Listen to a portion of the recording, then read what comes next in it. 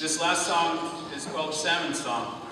We are Git Hoan. Hoan is the general word for salmon. Git means people up. Um, salmon are very important to our people. Last year, uh, sockeye returns were only 25% of what they were 100 years ago. Salmon is a keystone species, meaning uh, once the salmon die off, everything else is going to start going with it. Encourage everyone to vote and vote for people who are going to take care of our planet, please.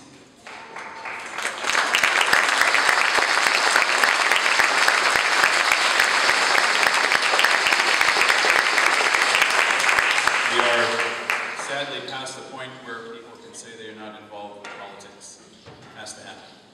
This is, song is in honor of the salmon, which is so vital to all of uh, my people and our relations up and down the coast.